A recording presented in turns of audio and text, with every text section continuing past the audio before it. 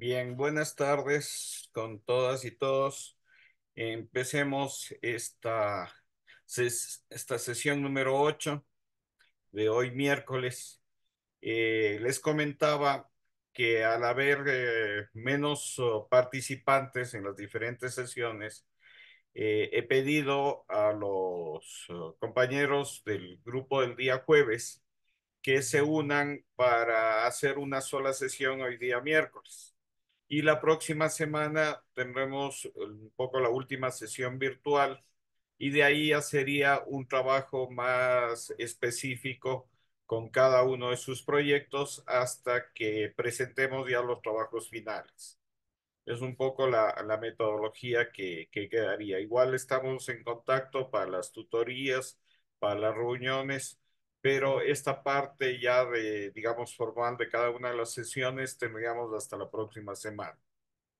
Eh, para empezar, igual quiero enseñarles un, un trabajo sobre un músico, compositor eh, baneño, se llama Nicolás Fiallos, ¿no? que fue una entrevista que le hice hace algunos años cuando este señor tenía 98 años, pero ya van a ver que tiene una memoria bien prodigiosa, se acordaba todos los detalles de, de su niñez y eso. Es un trabajo cortito que les quiero enseñar hasta que el resto de compañeros se vayan integrando.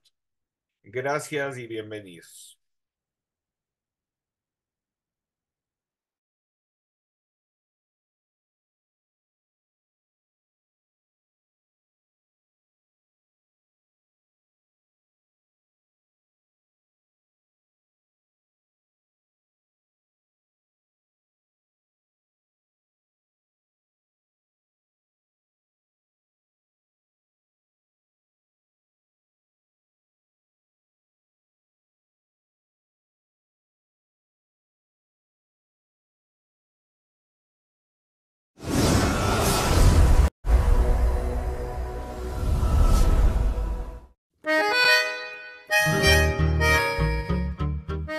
Yo he nacido el 25 de julio de 1919 a las 5 de la mañana en la parroquia Baños, hoy Cantón Baños de Agua Santa, o Pedacito de Cielo, o Ciudad para Vivir, o Baños Síntesis del Mundo. Mi infancia la pasé con mis padres, llegué a la escuela y ahí me había destacado yo como estudiante mis profesores ya descubrieron mi inclinación al canto y las obras sociales me, se me hacían subir al escenario para que cante o recite. Eso era en, la, en, mi escuelita que tuve únicamente la primaria. Luego después hice dúo con un compañero de escuela que se llama Vicente Acosta, dúo que más tarde se llamó el dúo de los baneños.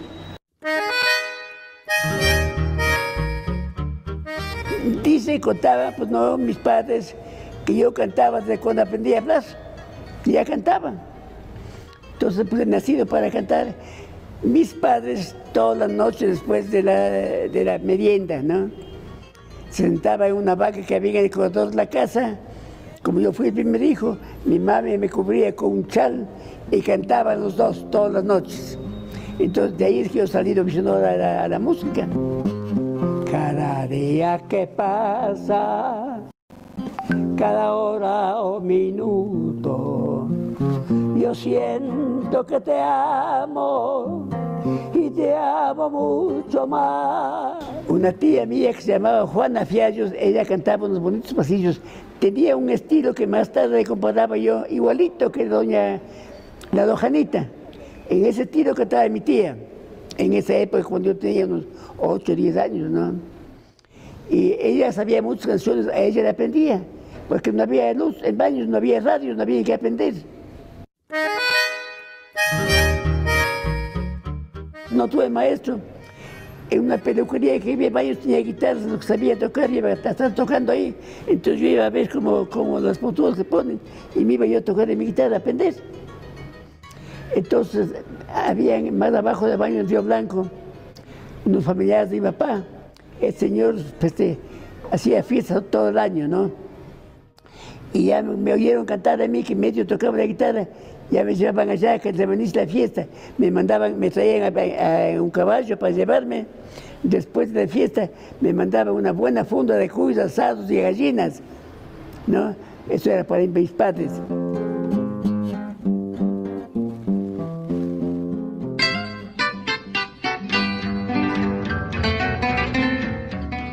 Ah, pues este es el templo del pasillo ecuatoriano.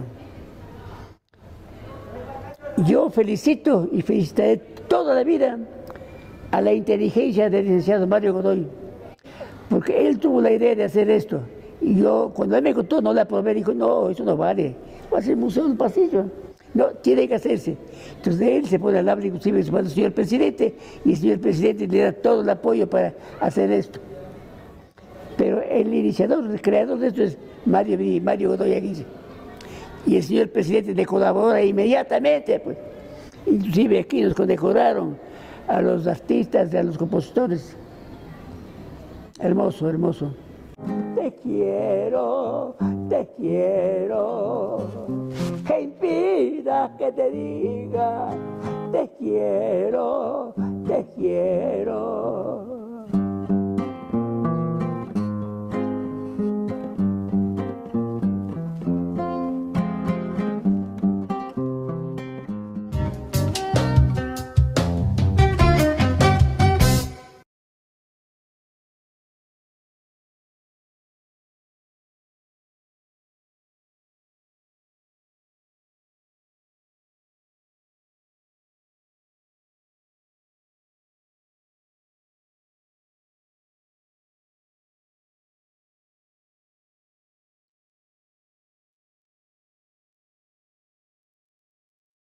Bien, ese era un poco el trabajo que les quería presentar. Es sobre, como les comentaba, Nicolás eh, Fiallos, un compositor que tiene más de, tengo entendido, más de 400 composiciones, no solo de pasillos, albazos, pero como casi siempre ocurre en, en este país, es, es un compositor, un artista desconocido, ¿no? Porque casi siempre son los intérpretes los que son más valorados. Pero bueno, si alguien quiere ver el, documental, está, está igual subido todo el documental al, YouTube. Bien, eh, empecemos. La idea de esta sesión es que los compañeros vayan presentando sus trabajos lo comentamos entre todos y, vamos avanzando. Igual, eh, la idea es que eh, vamos oh, también trabajando con las tutorías a partir de mañana. Entonces, eh, las personas que ya hayan presentado, y hay algunos trabajos que ya he revisado, entonces que puedan hacer las citas, ¿no? De 9 a 3 de la tarde para seguir trabajando los proyectos. Bien, ¿quién quiere empezar ah, presentando su trabajo, su proyecto?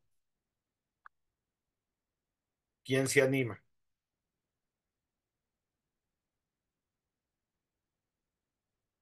De, eh, de los trabajos que me mandaron, si alguien, eh, igual puedo compartir la pantalla y ustedes lo van, eso, presentando, leyendo.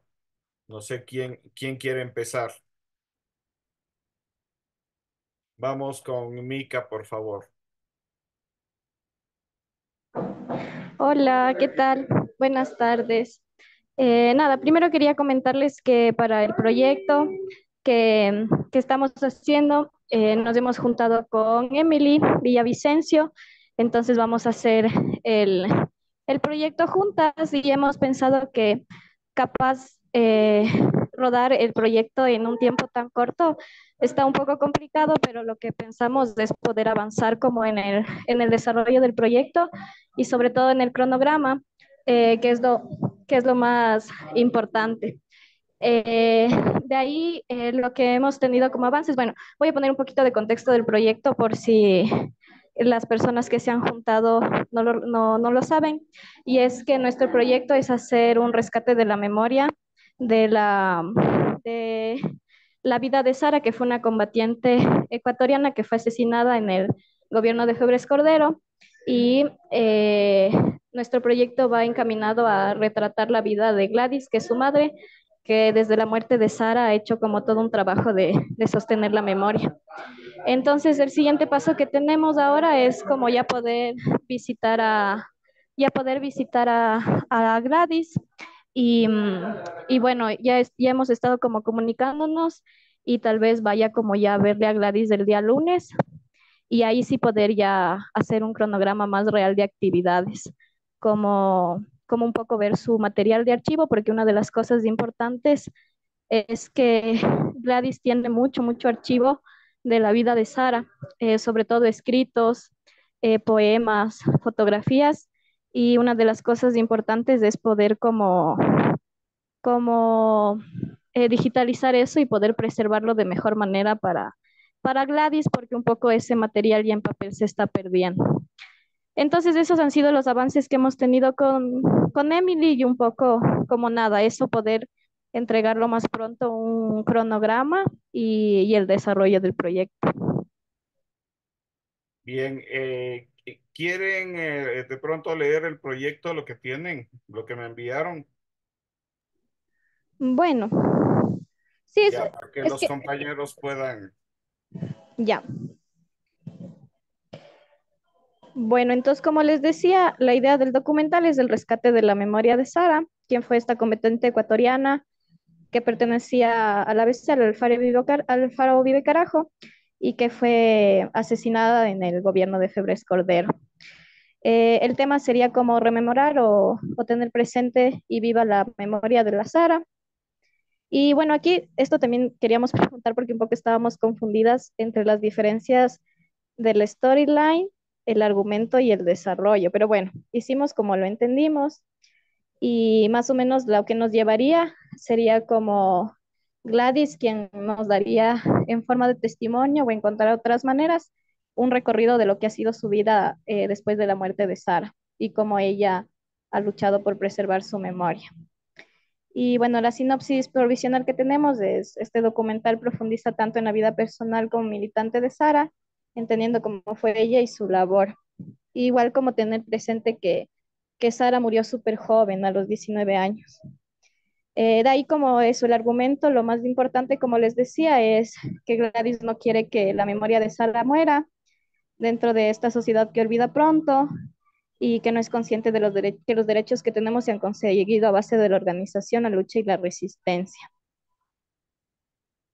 Y el desarrollo igual, como tener a Gladys, quien sea quien nos cuente quién fue Sara, a través del archivo y de, su historia de vida, que es eh, un poco mantener la, la, memoria de la Sara viva. Eh, entonces, eh, las personas que se van a ser entrevistadas es la Gladys, dependiendo, la, dependiendo de la visita, igual hay que ver si es que se hace o no entrevistas como al resto de la familia de Sara. Y los recursos fotográficos y de video serían como el archivo que se tenga de Sara, el archivo de contexto histórico que podemos sacar de la Casa de la Cultura las entrevistas y los recursos escritos que son también archivo de la Sara que tiene Gladys. Y de ahí listas de tomas de apoyo, yo puse más como, bueno, pusimos más como tomas de paso, la casa de Gladys, la vida cotidiana y la familia eh, de Gladys recordando a Sara. Y eso. Bien, eh, gracias, eh, Micaela. A ver, un poco para, para entender la idea siempre un guion, y esto no es solo para guion cinematográfico, esto también es para teatro, para literatura. La estructura dramática siempre es igual para todos los formatos escénicos, la literatura, inclusive para la música, para la, las obras, la estructura dramática es similar eh, para todos. Entonces, la idea siempre es lo, lo concreto. Por ejemplo, yo quiero hablar de un compositor de 98 años que nació en Baños. Esa es la idea, por ejemplo, del trabajo que, que ustedes vieron. ¿Cuál es el tema? El tema siempre es lo más general. Entonces, por ejemplo, yo quiero hablar de, de la prostitución, quiero hablar de la migración, eh, quiero hablar del rescate de la música. Entonces, siempre el tema es lo más general y la idea es lo concreto. Yo voy a hablar, por ejemplo, como en el caso de ustedes, voy a hablar de Sara, una militante de ABC que murió muy joven en el gobierno de Febres Cordero.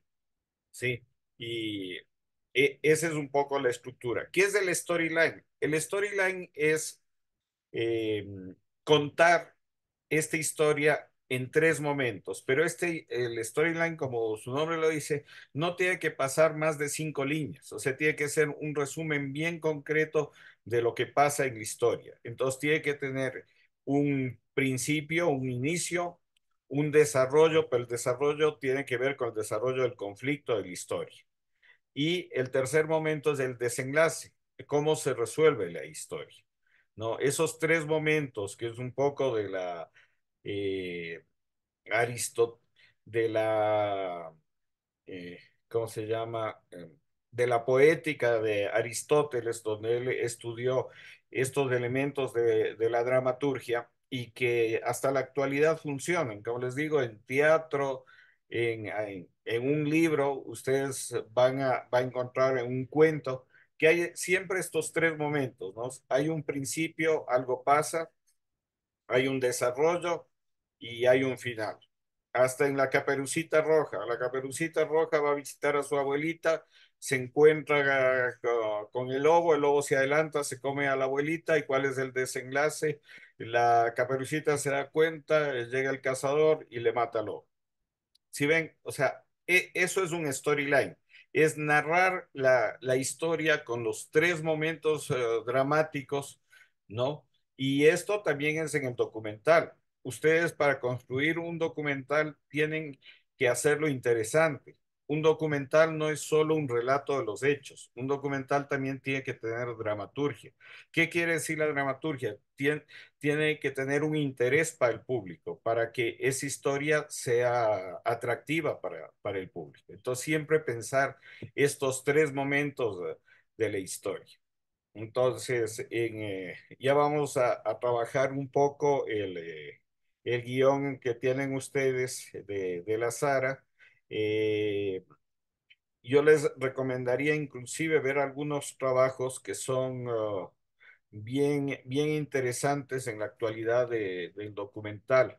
Hay un trabajo, por ejemplo, de Marta Rodríguez, que es una documentalista colombiana, que hace un, uh, uh, un documental sobre Camilo Torres, este cura, eh, cura colombiano que se hizo guerrillero. Entonces, es bien interesante porque Camilo Torres murió creo que en la década del 70, ¿no? Y esta documentalista, que ya tiene sus años, hace un diálogo con, con Camilo Torres como que si estuviera vivo. Inclusive, eh, ese diálogo es bien interesante porque inclusive eh, reclamándole ciertos errores, ciertas cosas que en su momento no se dieron cuenta, ¿no? Era, eran jóvenes, eh, pensaban en la lucha armada, pero desde la actualidad hay otra reflexión. Entonces, lo interesante de este documental de Camilo Torres es este diálogo que hace la documentalista con el personaje, en donde hay un feedback de cosas desde la actualidad y nos va narrando a través de eso la historia de, de, Camilo Torres. Un poco, ¿qué les quiero decir con esto? No, no solo a, a mí, que a la otra compañera, sino a todos en general. Que las historias que nosotros vamos a desarrollar tienen que ser historias interesantes, tienen que ser historias propositivas, no solo tiene que ser un relato de hechos. O sea, eh, por eso es importante lo que siempre les digo, escribirlo, pensarlo, porque el papel aguanta todo. Ustedes pueden ahí cambiar la historia, modificarla, que en cambio cuando ya pasamos a, grabar ya tenemos las cosas concretas. Entonces sí es importante que, que eso, que vayamos construyendo las historias de forma interesante. Y una recomendación a todos, eh, si uno quiere hacer un documental, eh, lo importante es también eso, tener ciertos referentes, eh, revisar otros trabajos, otras cosas que, que se han hecho, un poco también para no repetir eh, lo mismo, ¿no? Entonces, por ejemplo, ver si hay, si hay trabajos, esto de ABC sí se ha hecho bastantes cosas, pero ver si hay trabajos específicos sobre Gladys. Eh, yo la entrevisté igual hace muchos años, un documental que tengo que se llama Recuperando la Memoria, que fue sobre todo este periodo, ¿no? Está igual subido a YouTube. Entonces, lo que yo sí les recomiendo es que siempre vean otros trabajos, vean otros referentes para que su historia no sea un poco de lo mismo, sino que traten de buscar algún elemento novedoso en las propuestas que están haciendo. Eso. ¿Al- ¿Alguien quiere opinar, comentar algo del trabajo de las compañeras? ¿Alguna sugerencia, alguna opinión? No. Bueno, entonces, eh, eh, lo que tendrían que hacer eh, es hacer una, una sesión, o sea, ya de tutoría para... Leonardo, ¿quiere decirnos algo? Sí, quería saber esto de, Claro, de ley van a tener que contextualizar eh, la, la década del 80, ¿no es cierto? Em, hay estos archivos en la Casa de la Cultura, eh, tú que trabajaste también algo del ABC, em, creo que la otra vez vi algo sobre igual un, un militante del ABC de Esmeraldas. Y bueno, hay que contrarrestar esto, ¿no? Ahora la, la, la guerra de guerrillas, ¿dónde se desarrolla? En, en, en- en las redes sociales, tal vez. Eh, no sé, esa comparativa antes de un, de un, de un ABC que era ideológico, armado, eh, y ahora cómo, cómo se, cómo se cuestiona el poder, ¿no? Entonces, no sé si de ahí también van a hacerlo con las redes sociales como un nuevo campo de batalla.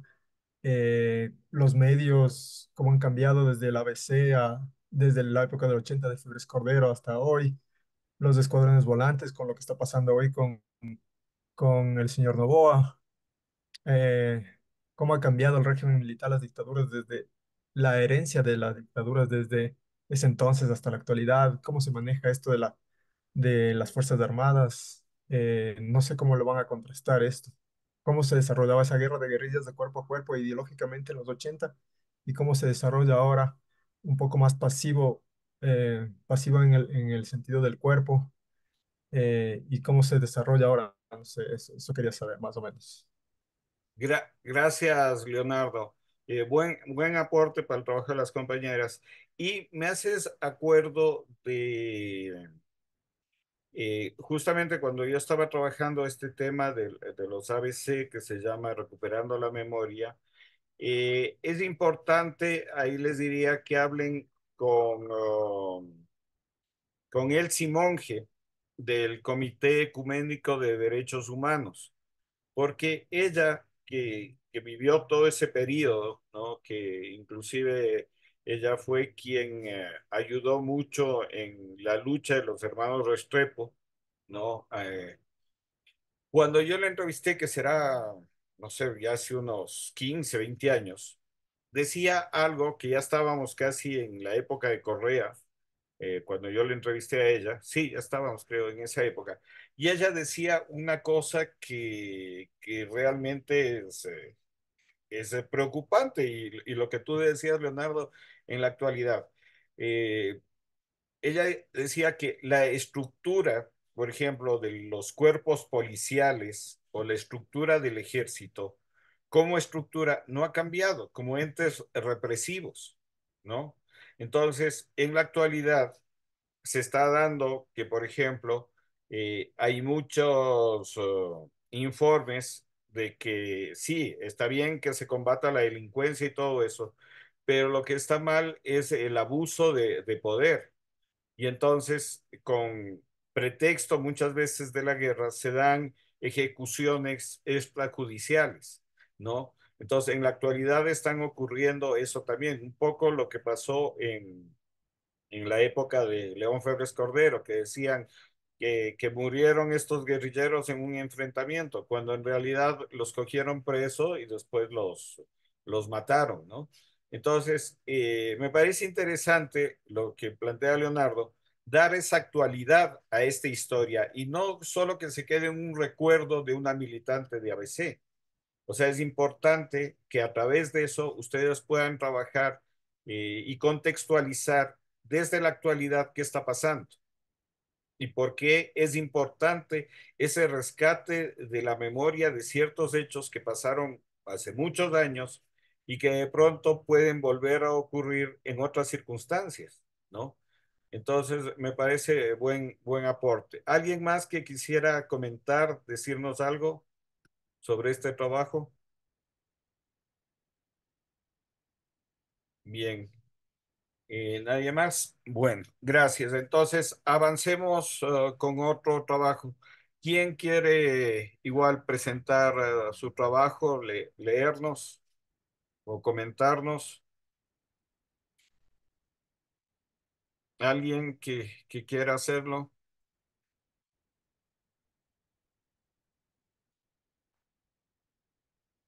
Pues, o si no, yo, yo les planteo, pero creo que es mejor que ustedes se animen. Vamos con Erika, por favor. Eh, sí, buenas, buenas noches. Eh, bueno, la verdad es que eh, nosotras con Evelyn, que estamos haciendo juntas el trabajo, em, hemos decidido hacerlo un poco más sencillo porque lo íbamos a hacer, no sé si lo recuerda, enfocado a, la, a lo que es la música, pero creo que por cuestiones de tiempo se nos va a hacer un poco, un poco largo hacerlo de esa manera. Ya. Entonces, nos vamos a enfocar más que nada en lo que es el conservatorio, pero obviamente también eh, tiene que ver en todo, toda la, todo el documental lo que es la música, ¿no? Y eh, la idea es justamente mostrar como las cuatro etapas de mi conservatorio, ¿no? La etapa de cuando fue desde su fundación, todo lo que, todos los procesos de políticos que, que, han, que ha sufrido, eh, cómo está actualmente y qué se espera para el futuro en el conservatorio. Eh, bueno, y como, como está justamente lo pusimos en cuatro partes del cuatro actos, que es lo que ahorita más o menos expliqué. Y, en cuanto a los entrevistados, eh, nosotros eh, vamos a hablar con autoridades, profesores, em, también, si es que es posible, con historiadores de música, eh, también con estudiantes y bueno, con, es más o menos sería esa la idea, ¿no? Pero lo que queremos justamente el jueves ya vamos a iniciar con lo que es grabaciones.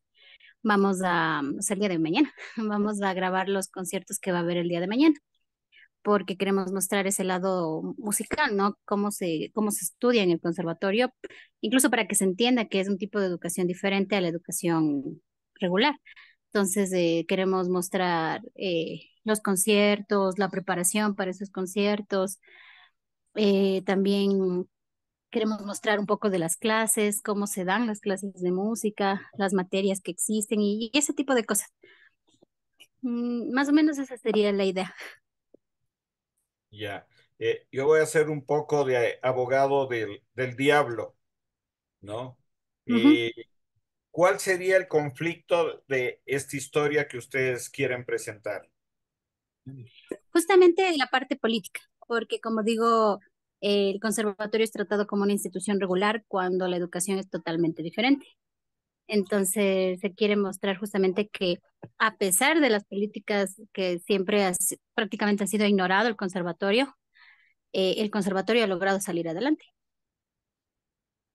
Ya, eh, pero eso, por ejemplo, no está eh, presente aquí en la propuesta.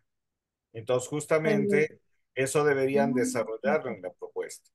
Sí. Es que, es que lo que pasa es que teníamos dos propuestas, pero creo que se nos ha ido la que no tenía la parte de la política. Sí, porque justo en el segundo, en la segunda, en donde dice épocas de cambio y renovación, ahí se supone que íbamos a poner las, las propuestas políticas de, o sea, para explicar cómo, cómo se, se ha trabajado al, la educación musical desde el Estado. Entonces, esa era más o menos la idea, pero creo que no lo, no lo explicamos. O sea, solo lo hablamos, pero no lo explicamos. El, el conservatorio es público, ¿no es cierto? Sí, Ya. Eh, por ejemplo, alguien que, que quiere entrar a estudiar en el conservatorio, que le toman pruebas. sí, ajá, o sea, es igual que una escuela, si es que ya tiene cierta edad, tiene que dar las pruebas, pruebas de acuerdo a la edad que tiene, o sea, para que ingrese al nivel que le corresponde según la edad.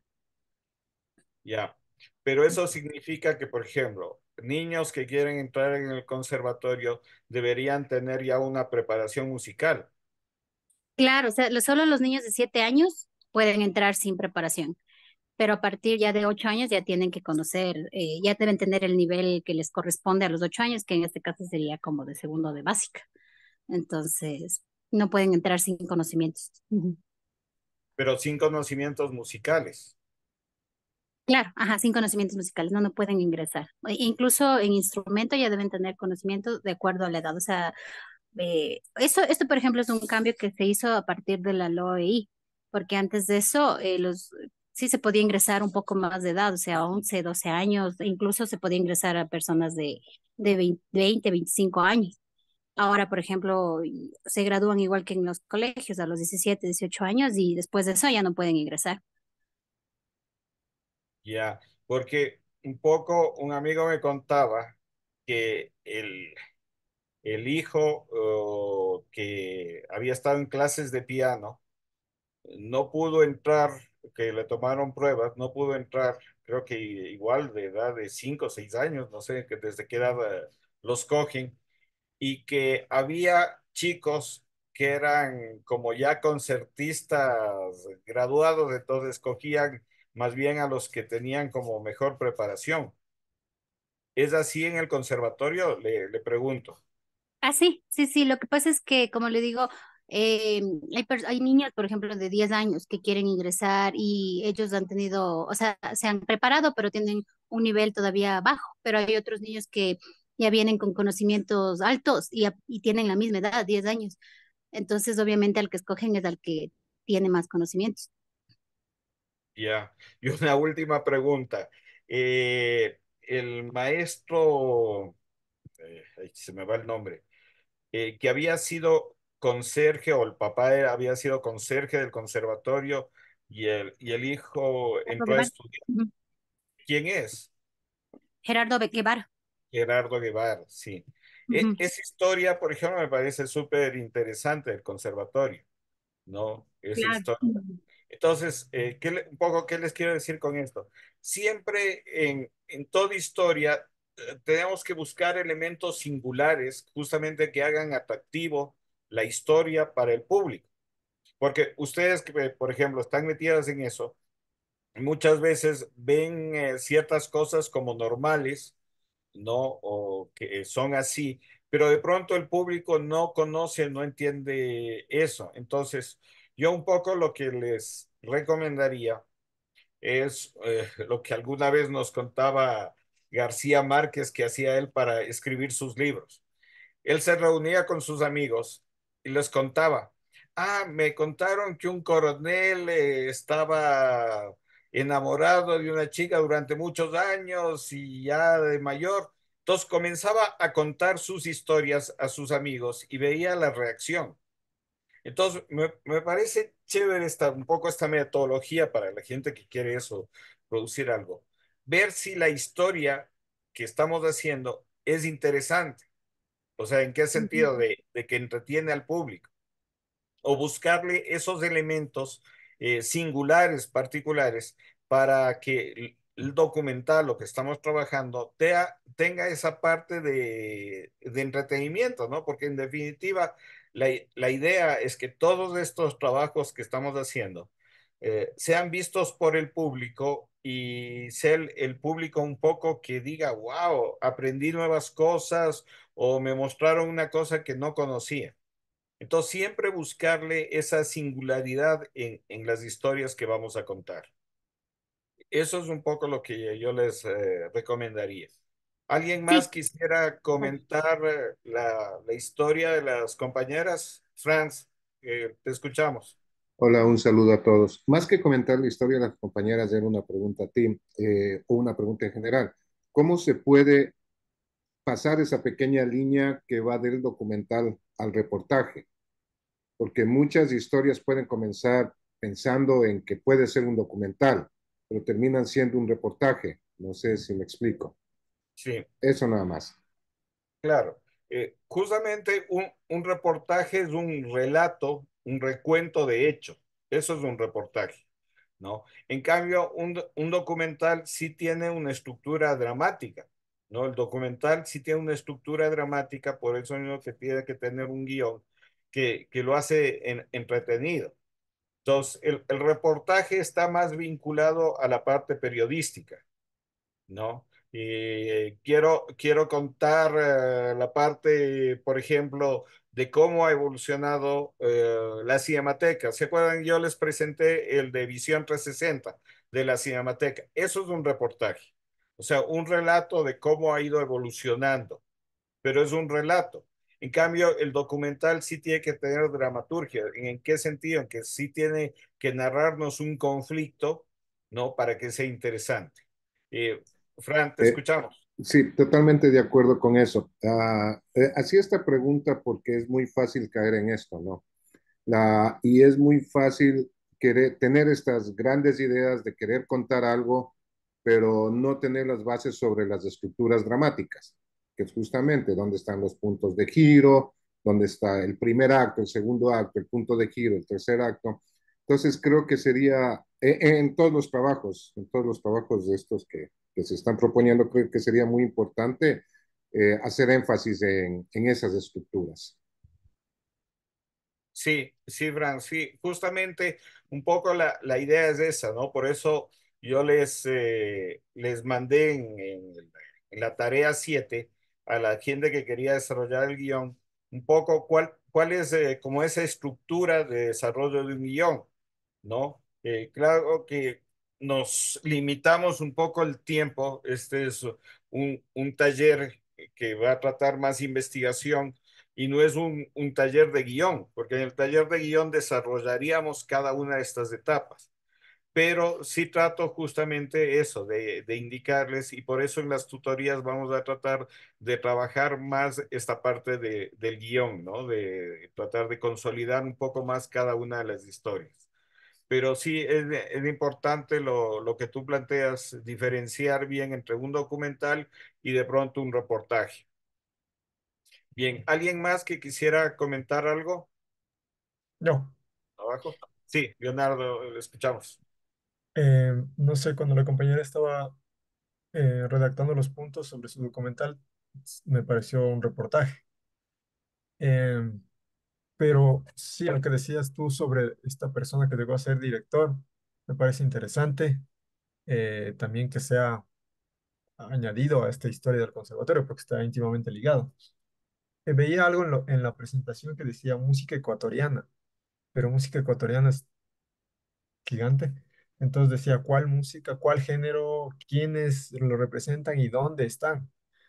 Creo que deberían aterrizar un poco más en, en, en qué tipo o a qué se refieren con música ecuatoriana, a qué, a cuál estilo, cuál, cuál forma de la música ecuatoriana. Y también decía que diferencia lo regular. Más o menos le entendí que es algo como muy estricto el, el, el derecho de admisión, pero esa, esa, es, eso, esa exclusividad de ingreso, ¿cómo se refleja? O sea, ¿qué me va a contar después? Ya son estrictos en cuanto a su ingreso, pero con ello, ¿qué, qué me van a mostrar? Eso es lo que no, no me quedó muy claro a mí. Eso, y mm, sí, básicamente, como te dije al principio, me pareció que era más un reportaje. pero no, no hay algo que me, que me rompa y me diga, no sé, estamos eh, mezclando estilos, eh, eh, estamos, no sé, rompiendo algún esquema de la música ecuatoriana, lo están fusionando con, como lo hacía Guanaco, como lo estaba haciendo Guanaco, con pasillos y un poco de, de rap, no sé, están investigando sobre otras formas, comparando con, con Perú, con la música autóctona de allá. eh, eso es lo que no, no, no lo tengo muy claro. Bien, eh, no sé si Erika nos, eh, quisiera comentar un poco esto, lo que plantean los compañeros. Eh, claro, eh, bueno, verá, eh, la, la, verdad es que, mm, bueno, sobre la primera parte de lo que dice que parece que más es un reportaje, eh, yo más o menos yo tengo planteado el, el, ¿cómo es el guion? Entonces, la idea es hacerlas justamente como, como presentar la historia del conservatorio y mostrando todos los lados que, que tiene el conservatorio, incluir anécdotas, porque por ejemplo voy a, vamos a trabajar con el, con uno de los que, de las personas que fueron las encargadas de, de la construcción de la nueva, de la nueva, o sea, bueno, de la actual, no, no la nueva, sino la actual eh, edificación.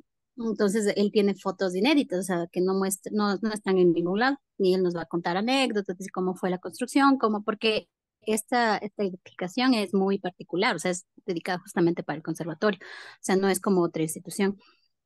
Esa sería una de las cosas. Y bueno, la otra parte de música ecuatoriana, bueno, no, recuerdo que hayamos puesto que vamos a hablar sobre la música ecuatoriana. Dije que vamos a utilizar, o sea, que, que el conservatorio eh, tiene, o sea, también eh, da entre sus cátedras de música ecuatoriana, eso sí. Ahora, por otro punto, bueno, no sé si tal vez es algo una opinión personal, pero música ecuatoriana mm, nos referimos específicamente a los géneros ecuatorianos, no géneros mezclados ni nada de esto, sino géneros ecuatorianos, no géneros extranjeros que son eh, mezclados aquí con lo ecuatoriano, sino ecuatorianos exclusivamente. Entonces, eh, a eso me refería porque, por ejemplo, los, los, los músicos que se formaron ahí, que son reconocidos de manera internacional, eh, como son Luis Humberto Salgado, eh, también, eh, me fueron los nombres, eh, Luis.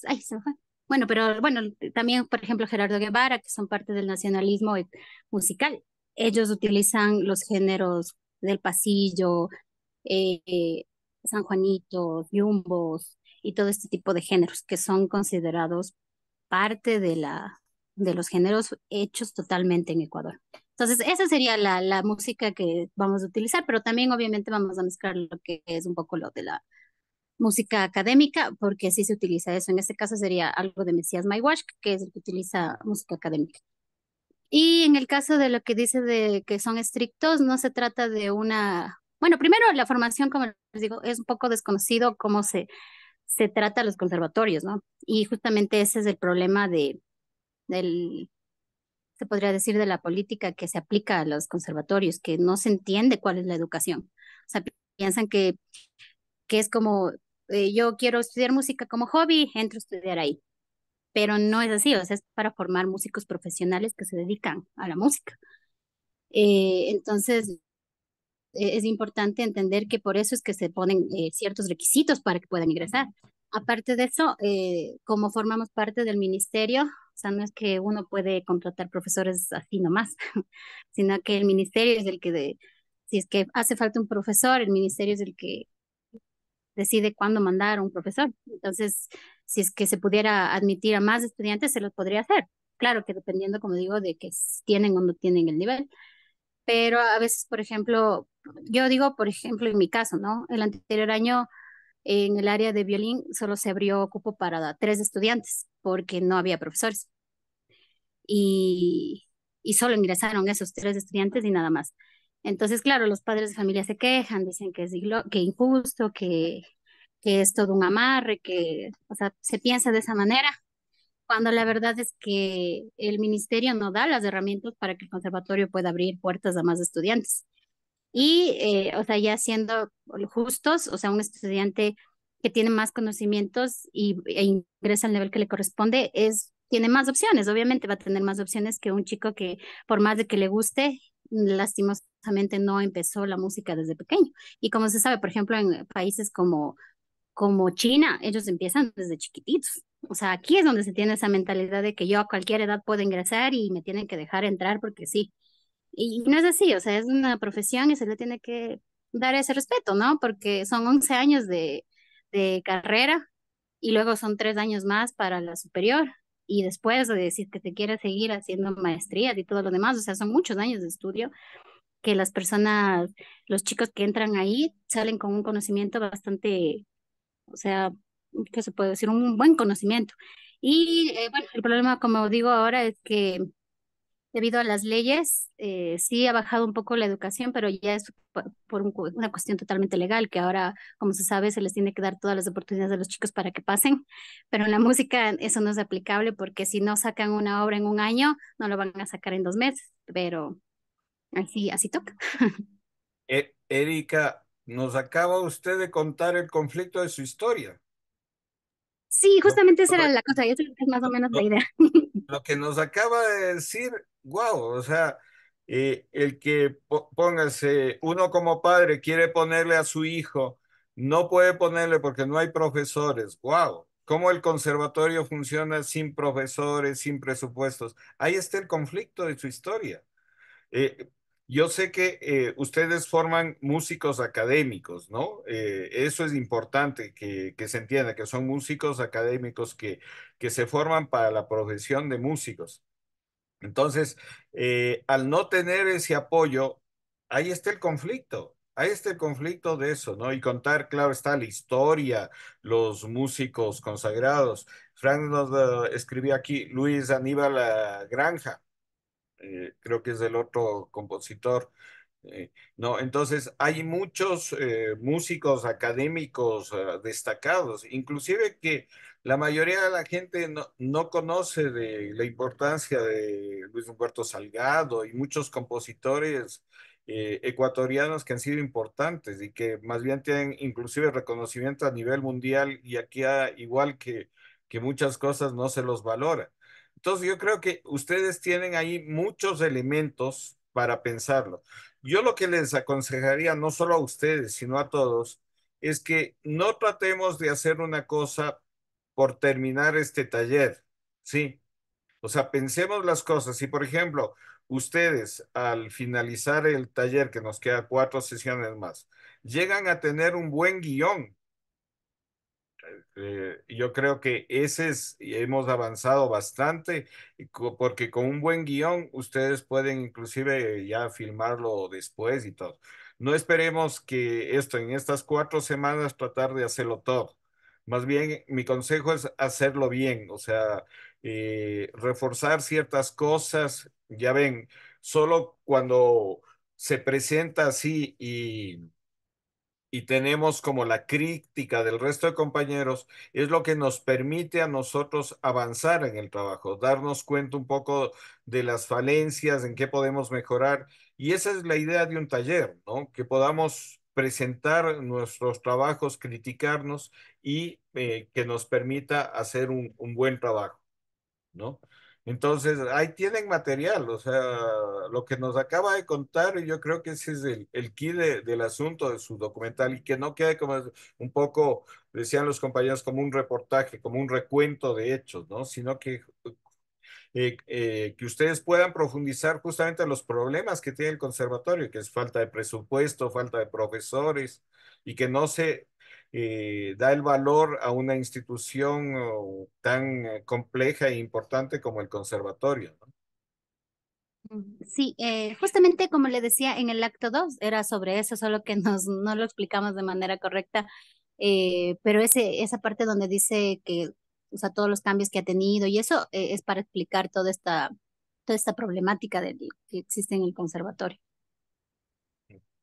Bien, gracias, Erika. ¿Alguien más que quisiera aportar algo, comentar algo? No, bueno, sigamos. ¿Quién más nos quiere presentar su trabajo? Brian, vamos con Brian, por favor. Hola, buenas noches con todos. Eh, igual que la compa del primer grupo, eh, soy del, del, grupo del día jueves. Eh, la propuesta la hemos elaborado con Estefanía Tenesaca y solo para igual dar como un poco de este contexto a los compas del grupo de acá, o sea, lo que nosotros teníamos pensado era como el, el taller era como de investigación, eh, hacer un artículo académico sobre una investigación previa que venía yo ya elaborando junto con Cinemateca, pero vimos que por recursividad y por los elementos que estaba brindando el taller, lo mejor era hacer una propuesta de documental, una propuesta de investigación de documental, eh, para poder coordinar bien. Bueno, Stephanie está en otro país eh, y nos resultaba mejor que la, digamos, el contenido del documental salga de la misma investigación que tener que leer un montón de artículos más para poder escribir el artículo nuestro. Entonces, a partir de ahí decidimos como hacer una propuesta de, de, documental y bueno, es lo que vamos a presentar. Eh, no sé si me permites para compartir. Sí, ya te... Ya, ahí puedes compartir. Ya, chévere. Entonces, el, em, el, el- el proyecto em, tiene como estos elementos un poco de, de creación, de documental de creación. Y justo con Estefanía estábamos en el debate de cómo hacemos que no solamente sea como exponer este, lo que venían como debatiendo al inicio, ¿no? Hechos, sino más bien eh, que sea un documental. Entonces, llegamos como a, eh, concretar como el dispositivo documental. Y eh, mm, bueno, lo voy a ir leyendo. Eh, entonces, bueno, la idea es que a través de archivos fílmicos sobre bibliotecas y cinematecas en el mundo que han desaparecido sobre- por causas de incendios, crear el supuesto argumento que la Cinemateca Nacional del Ecuador ha desaparecido por razones de un incendio accidental, eliminando la memoria del país. Este dispositivo nos permitirá salir a las calles de instituciones administrativas y universidades a realizar la pregunta, ¿conoces la historia del cine en Ecuador? Con el resultado de estas respuestas, eh, lo iremos juxtaponiendo con la búsqueda de cineastas y gestores que apasionadamente dotaron de una identidad al cine nacional en la década del 70 y el 80, que era ese como el tema en concreto, ¿no? Que hablar con los cineastas de esta generación. El objetivo es llegar a conclusiones sobre la importancia del cine para el país. El tema es la memoria e importancia del cine ecuatoriano. El storyline, este es mi error, yo lo confundí con longline, entonces ya lo vamos a corregir. Em, y la sinopsis es como, ¿qué sucede si el, si el lugar que cuida la memoria audiovisual del país desaparece en un terrible incendio? ¿Interesaría esto a las personas? ¿Qué pensarían los cineastas, su público, los gestores que sostuvieron el proyecto de cine nacional? Esta película, desde la ironía, propone la pérdida de la memoria fílmica a través del incendio de una institución importante para su preservación. Las personas que aquí respondan a las, a las preguntas irán revelando qué tan importante es para ellos el cine de su país o quizá no lo es. ¿no? Entonces, eh, luego en el argumento está un poquito más detallado. Eh, la Cinemateca Nacional del Ecuador, institución que cuidaba la memoria del país, incendia accidentalmente.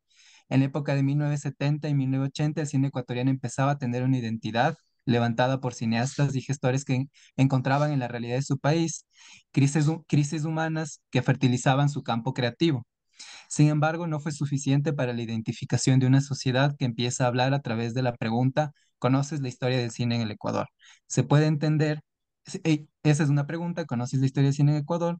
Y otra pregunta es, ¿se puede entender nuestro presente sin conocer nuestra memoria?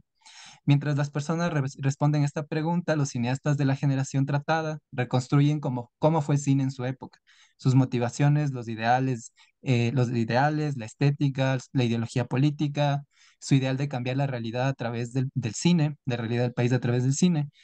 Eh, sin embargo, la institución ahora es consumida por el olvido y el fuego hasta, hasta su desaparición. Las personas en el presente van exponiendo su perspectiva de la memoria del país y así llegamos a las conclusiones propias que van a salir del, del relato mismo de las personas. Entonces, bueno, con Stephanie empezamos como a desarrollar la, la escritura de escaletas. eh, tenemos como hasta, el- hasta más o menos del primer acto, ingresando el segundo acto. Y a Stephanie se le ocurrió una idea súper, súper bacán, que fue como añadirle otra capa más de ficción al tema del, de, un falso documental, que sería lo que estamos tratando, que fue como que la- las personas que estén, digamos, los supuestos autores del documental sean un grupo de chicos que pertenezcan a un cineclub y que ellos descubran como, eh, digamos, no descubran, eh, recuperen algunas de las cintas del incendio y que, estas cita, y que estas cintas del incendio sean de los cineastas del 70 y el 80. Em, digamos, esta sería la segunda capa de ficción, ¿no? La primera sería el incendio, la segunda los chicos de Cineclub. Eh, y bueno, en el listado de entrevistas eh, ya teníamos como más o menos perfiladas las, las personas de la generación 70-80. en Quito y algunos nombres que cuando la TEFIS puso el proyecto habían surgido algunos nombres de otras ciudades que también eh, tuvieron importancia en esta, en esta generación y que las tenemos aquí en, en un listado, que igual va, va, a ir aumentando. Y bueno, en el recurso foto, la propuesta estética sería, eh, tenemos como algunos referentes eh, temáticos en, en, en, este primer referente, que es Fahrenheit 451 de François Truffaut, que es, digamos, sobre el incendio de bibliotecas, ¿no? Por esta cuestión del poder que querían que la gente sepa, eh, temáticamente, ¿no? De ahí hay un reportaje eh, en, la, en el canal de YouTube de la, de la Cinemateca Nacional, que es un reportaje sobre los cineastas del 80 en Ecuador y que tiene como esta cuestión de, de cómo ellos eh, estaban construyendo una identidad del cine nacional en esa época. Eh, y luego también está el documental Más allá del molde de Miguel Alvear, que también se plantea la, el problema de qué pasa con el cine en el Ecuador. Eh, y él hace este ejercicio de salir a hablar a través del personaje eh, que interpreta como el autor de la obra eh, con la gente, ¿no? Como que qué opinan del cine nacional, creen que hay un cine nacional, ¿dónde, qué pasa con el cine nacional? Y mm, también es un referente, ¿no? Para esta, para esta propuesta. Eh, obviamente, como estamos hablando de una filmoteca que ha sido incendiada, es importante los archivos fílmicos, que en la propuesta estética hay archivos fílmicos. Entonces, bueno, encontramos ciertos eh, como antecedentes, como el incendio de la biblioteca del el Museo Nacional de, de, de, Brasil, que tuvo su filmoteca y se incendia la filmoteca de Brasil en el 2018. Hay registros este, periodísticos sobre que cubrieron este evento, que son las imágenes que estamos viendo. Y, eh, y bueno, también hay como imágenes más del holocausto, ¿no? Como este tema del incendiar la memoria, este, es algo que en épocas de, guerras o en épocas de dictaduras es, una cuestión como muy, muy común en, esas épocas, quemar libros, quemar bibliotecas, y que se lo puede trasladar a, una cuestión como una asociación con el tema de las filmotecas, ¿no? Como arrebatar la memoria de alguna forma. Entonces, digamos, el antecedente es la quema de libros de, las bibliotecas. Esta es una foto de, del nazismo, por ejemplo, en el 33, que quemaban libros de, de, que no estaban de acuerdo con el pensamiento nazi.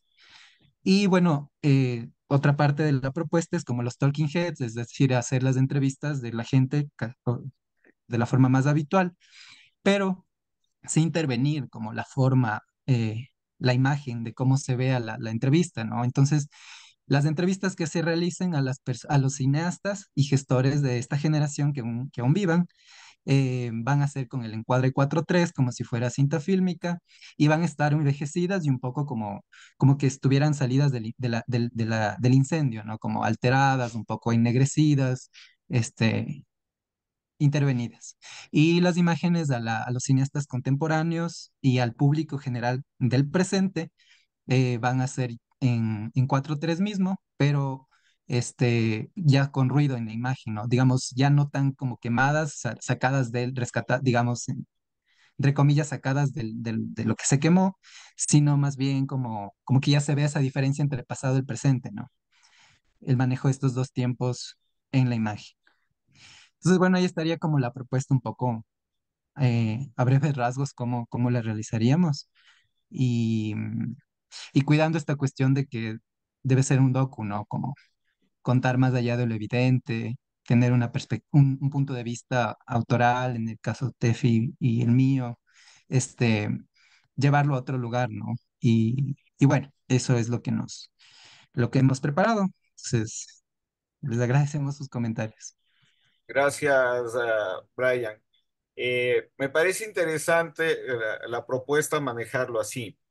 Ahora, eh, solo una, una cuestión que, que, tú lo mencionaste como medio de lado, pero a mí me parece importante, que es, eh, y un poco en el trabajo del Miguel Alviar sí se menciona, que es el trabajo de la periferia.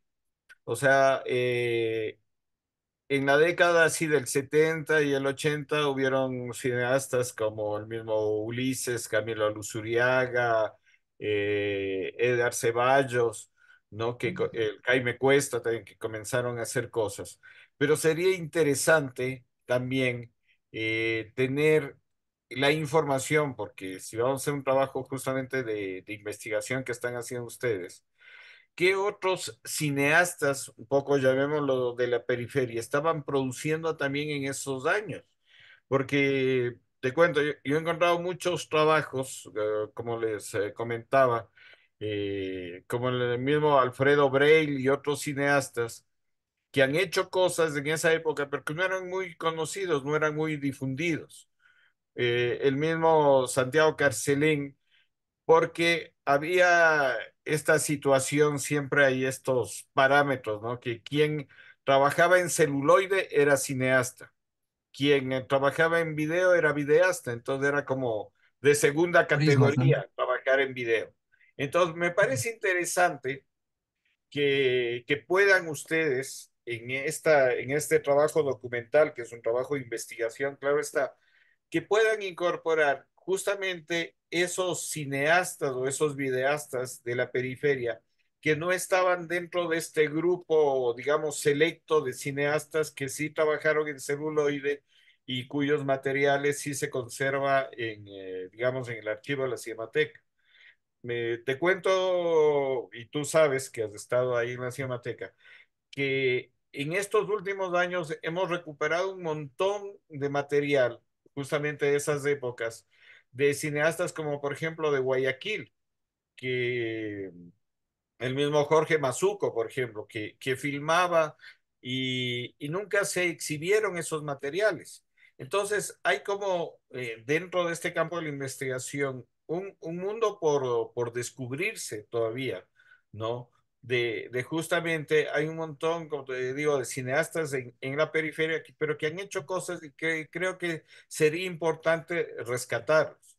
Y, y se me, lo que se me ocurría cuando tú relatabas esto, es que algo que puede manejarse es que esos materiales de estos cineastas de la periferia fue lo que se salvó, porque como no eran cineastas reconocidos, no estaban en las bóvedas de la cinemateca, entonces este material que estaba en, en el cajón de los realizadores y que no fueron a parar en la bóveda de la cinemateca, es el material que se salvó y un poco eso, valorar ese trabajo de estos videastas ¿no? Que han hecho también un trabajo importante, ¿no? En, en esa época.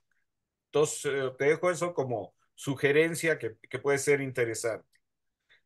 Bien. Gracias, Eh, Carlos. Eh, ahí nosotros, eh, por ejemplo, también me parece como súper chévere porque, por ejemplo, yo pude conocer un poco la obra de Gustavo Valle, que es un cineasta del suburbio de Guayaquil, por ejemplo, y que se- es como muy querido en la UARTES. eh, le hacían como bastantes retrospectivas, foros, y su obra es como bien, o sea, por ejemplo, él ahorita hace cine experimental, y en su época hacía como, ganaba los premios del municipio para poder grabar sus obras, entonces, digamos, sí hay, claro, más, más gente, ¿no? Entonces, claro, eso fue un, un problema que, que teníamos con la TEFI, decíamos como, chévere la centralidad, pero, pero ¿qué hubo más allá, no? Y, y ahí empezamos como a generar otras preguntas, decíamos, a ver, ¿qué pasa si es que eh, la generación no solamente se limitaba a la institución, eh, sino también a, a la, a la- autonomía, al cine independiente, al cine comercial, que también hubo, eh, tuvo una peli, la primera peli de cine comercial,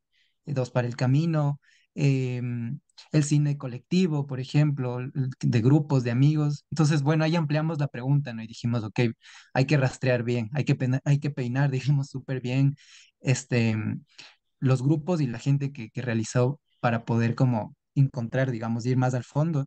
Y claro, claro, la periferia también es, es valiosa, claro. Y, y me refiero también a otras ciudades, por ejemplo, en Loja estaban haciendo cosas, en Cuenca también, ¿me entiendes? O sea, sí, sí, un poco profundizar en, en esos temas, porque eh, ahorita que hablaste del centralismo, sí, generalmente es Quito, Guayaquil y Cuenca a veces, y pare de contar, pero de pronto puede haber cosas interesantes en, en otros lados, ¿no? O sea, yo sí tengo referencia, por ejemplo, en Loja, eh, Burneo era un cineasta que hacía cosas ya en esa época.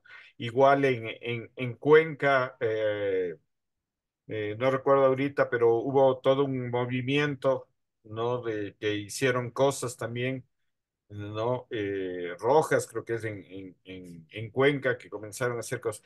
Entonces sí sería interesante en ese proceso de, de investigación eh, profundizar. Y, y, un poco, ahora es más fácil, te doy estos datos, por ejemplo, eh, ustedes podrían apoyarse mucho con la Universidad de Cuenca, ¿no? O con las universidades donde tienen, no, no carreras de cine, puede ser carreras de comunicación, que puedan apoyarse en eso para profundizar esta investigación y sacar datos especialmente en provincias, ¿no? Se me ocurre, por ejemplo, la Universidad Técnica del Norte, y que pueden, ellos creo que tienen una carrera de comunicación o gestión cultural. Entonces, de pronto, plantearles a ellos que puedan apoyarles en esto de la investigación y ver qué materiales había, por ejemplo, en el norte del país y así en, en otras, ¿no? La, la técnica de Manaví también. O sea, pueden tomar contacto con las universidades y un poco hacer este mapeo, por lo menos, este rastreo de qué materiales se hacían en esos años en, en el resto de provincias, ¿no? Bien, ¿alguien más quisiera comentar algo, aportar algo? ¿Le puedes eh, dejar de compartir ya eh, tu proyecto para... Pero sí, ya, ya está completo en realidad, sí, no, no, no hace falta nada más. Aquí solo era como el, la referencia de cómo sería el encuadre, ¿no? Y Sí, de las entrevistas, de ahí ya está completo. ya. Bien, ¿a- ¿alguien más quisiera comentar algo del trabajo de Brian, por favor? ¿O tienen alguna pregunta? Yo, yo. Sí, sí, Leonardo. ¿Qué pasa? Ah, no sé, pero de los, de los cineastas que, que van a recuperar la memoria, no sé si sería interesante ver qué referentes de ellos tuvieron, porque de lo que también sería interesante ver qué estaba circulando en la época de los 70 y 80 a nivel, no sé, de región o de a nivel mundial en cine comercial o en otro tipo de cine, no sé, qué estaba circulando o de estos, de estos cineastas que van a hablar, que, cuáles eran sus referentes, o sea, cuál era la circulación a de las épocas. También me parecería interesante. Claro, claro, ese es, ese es todo el tema. O sea, ese es el tema que sostiene un poco la, la ideología de esta época, porque, digamos, era la época del nuevo cine latinoamericano. Entonces, acá hubo el grupo, digamos, que más frenteaba y que más representaba, estaban como en el barco del nuevo cine latinoamericano. Y, y claro, digamos, de ahí están los grandes referentes de, de la generación como más, más fuerte de esa época. Ajá.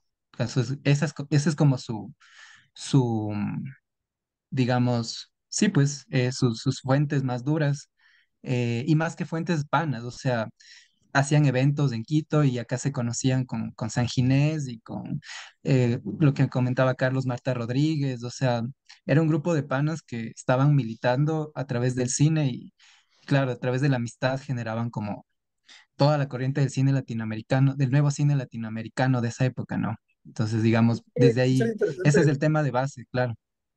¿no sería interesante también dentro de esa época del 70 y 80 la Escuela de Cine de Cuba? Porque veo que la- muchos de los eh, artistas latinos, ecuatorianos, creo que también Carlos fue a la de Baños, Sí, eh, pero, ¿cómo influyó la eso escuela de... fue, fue en el 80 y... La escuela de cine se crea en el 86. Ah, ya. Entonces, antes, antes lo que había era esto de la, ¿cómo se llamaba? Eh, no recuerdo bien, pero era como una asociación de cineastas latinoamericanos, ¿no? Mm, Y esto fue el origen que dio eh, la creación de la escuela, ¿no? La fundación del nuevo cine latinoamericano se llamaba. Entonces eran cineastas de los diferentes países que dio origen a eso. Sí, pero me parece eh, importante lo que marca Leonardo, esa contextualización de, de, de qué pasaba a nivel mundial, ¿no? No quedarnos un poco solo en lo, en lo local. Creo que es importante eso.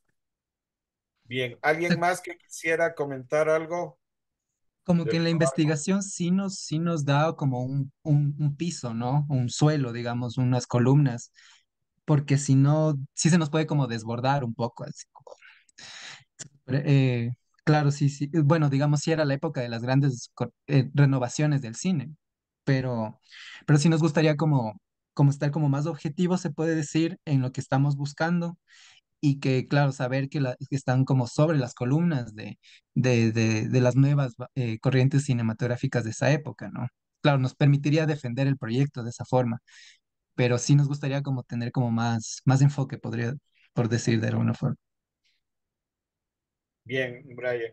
¿Alguien más que quisiera comentar algo del trabajo de los compañeros? ¿No?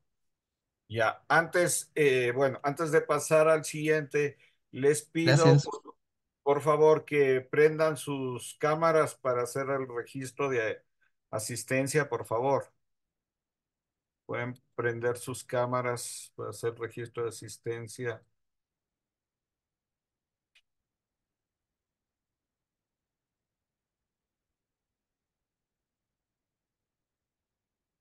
Pueden prender sus cámaras, faltan algunos compañeros nomás. Por favor, prendan las cámaras, faltan un par de compañeros. Pueden prender sus cámaras. Bueno, listos, gracias. Bien, ¿quién quiere continuar, eh, por favor, presentando su, su proyecto? ¿Alguien que, que quiera comentarnos? ¿Alguien más que quiera participar, comentar su proyecto? Vamos con Nati, por favor.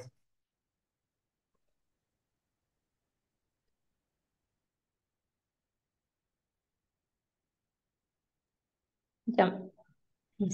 Profe, perdón, yo me conecté de dos lugares porque mi computadora no sirve el audio, entonces le voy a compartir desde la otra, desde la otra Ya, cuenta. Mm,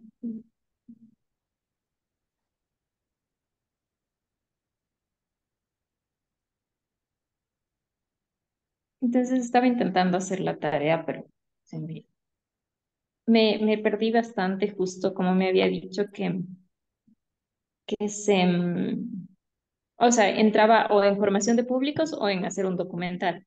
Y lo mío trataba sobre el centralismo. En, en la memoria audiovisual, que no hay memoria audiovisual acerca de, de la parroquia en, en la que yo nací. Y, y se mira ahí. sí, ahí estamos viendo. Entonces no sabía si es que estaba bien como propuesto para seguir desarrollando. La idea sería, eh, la idea del documental sería eh, que, que es Huapán, aparte de ser una, una cementera. y cuál es la memoria audiovisual grabada en VHS de la parroquia Huapán. El tema sería el centralismo en el audiovisual. ¿Cuál es la memoria audiovisual que, que se guarda de Ecuador más allá de la grabada en las ciudades principales? En estas cosas de storyline y sinopsis y argumento yo me confundo un montón, no, no tengo muchos conocimientos de eso, pero como storyline le puse mi historia cuenta, el camino, y ahí es donde me pierdo, porque mi idea era como el, el proyecto, ¿no? Recoger los, las cintas de VHS y llevarlas a la cinemateca. Pero en la tutoría habíamos quedado que se podía grabar también, hacer un archivo sobre ese proceso. Y entonces el, el, el documental que, que pudiera salir de ahí seguiría mi proceso como buscando ese archivo. Entonces le puse, mi historia cuenta el camino de una mujer que trata de recolectar material audiovisual en VHS de su parroquia. Sinopsis, a pesar de los esfuerzos que hace la Cinemateca por preservar la memoria audiovisual del país, debido al centralismo es difícil recolectar y cuidar la memoria de lugares alejados de las grandes ciudades. ¿Cuál es el camino para buscar y guardar, eh, guardar y cuidar la memoria audiovisual de los lugares no centralizados del Ecuador? ¿Es posible? Y el argumento, Mercy quiere encontrar archivo audiovisual de su parroquia, investiga el fenómeno del centralismo y los argumentos por los que es importante recolectar y cuidar la memoria audiovisual más allá de las grandes ciudades, elabora un proyecto para recolectar el archivo que hay sobre su parroquia en VHS y llevarla a digitalizar en la cinemateca, finalmente observa el archivo y conoce a través de este otra mirada de su parroquia. Entonces, em, o sea, la primera, estaba en la primera parte sobre buscar documentos que hablen sobre el centralismo. Eh, y también quería pedir referencias acerca de eso, sea en, en documentales o sea en, en, en, artículos escritos, porque lo que encuentro es como súper general y más de la cultura, no del, del audiovisual en específico. Y, y también saber si está bien en lo que, lo que planteo, si es como el camino, porque como que siento que a veces, eh, si, si bien se trata del centralismo, eh, o sea, se, se, puede hablar del centralismo hablando solamente de, de esta parroquia. Sí, yo, yo creo que eh, está bien. Una cosa que, que, les quería un poco aclarar a todos eh, un poco este taller no es para sacar cineastas, ¿no? Que estemos claros. O sea, sí vamos a conocer los procesos, eh, por ejemplo, eso de, de la estructura de, del guion, pero no tengan... Eh, ningún temor a, equivocarse porque no es un proceso en donde estamos tratando de, sacar cineastas de este taller. O sea, la idea, como se planteó, es uh, arte, historia e investigación audiovisual. Entonces, en este sentido, me parece importante eh, que eso, que se plantee la recuperación de la memoria audiovisual de una parroquia, que un poco se llega a conocer a partir de que está la fábrica de cemento, ¿no es cierto? Pero antes de la fábrica de cemento, su parroquia debe tener una historia debe haber registros, inclusive fotográficos, antes de, de, lo de la cementera. Entonces, esa parte yo creo que sería importante que eso, que pueda profundizar eh, eh, usted, porque un poco el, el VHS también es de la época de los 80, cuando comienza a surgir acá el, el VHS. Pero digo, antes, eh, eh, no sé en qué fecha se creó la cementera ahí en Guapán. ¿Usted tiene ese dato? En la década de los 60 creo que se terminó de, de instalar. Ya, ya, pero digo, antes de eso debe, debe haber otros, uh, otra mm. memoria de la, de la parroquia, ¿no? Que de pronto sería interesante también saber. Y, claro, y... no sé qué tan fácil sea conseguir eso porque, o sea, de, de lo que yo tengo recuerdos, lo, con lo primero que se hacía registros es con el VHS. Antes de eso, no sé si es que ahí llegó la, la, algún tipo de audiovisual. No, pero, pero puede haber fotografías, o sea, puede haber ah. eh, fotográfico, entonces eso le puede ayudar en, en este trabajo, ¿no? Eh, un poco eh, para explicarles, en, en, en esta estructura, eh, lo que les decía, la idea es lo concreto, el tema siempre es lo general, ¿no? Eh, el storyline es narrar la historia en tres líneas, pero eh, en el storyline respondemos a la pregunta de qué pasa en la historia, ¿no? Entonces, ustedes siempre háganse esa pregunta de los tres momentos. ¿Qué pasa en la historia? ¿no? Eh, y entonces ese es eh, lo que responde el storyline. ¿Qué pasa en la historia? La sinopsis, en cambio, responde a la pregunta de cómo pasa. Por eso es que en la sinopsis ponemos más elementos de cómo pasa nuestra historia. Y el argumento, en cambio, responde a la pregunta de por qué pasa eso en, mi historia. Entonces, ahí ya vamos justificando en el argumento mucho más. ¿Por qué pasan eh, esos momentos? Entonces, esto como una pequeña ayuda a eso de, la estructura, ¿no? De, este guion o de esta estructura que estamos haciendo.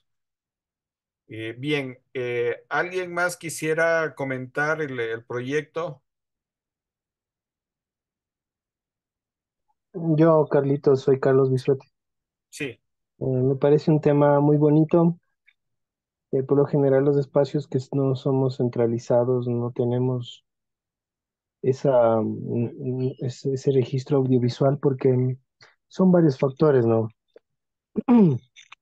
Uno de los factores que inciden básicamente es que no existe acceso muchas de las veces al, a los dispositivos tecnológicos y por lo tanto no hay una cultura del audiovisual. Es como importante también entenderlo, ¿no?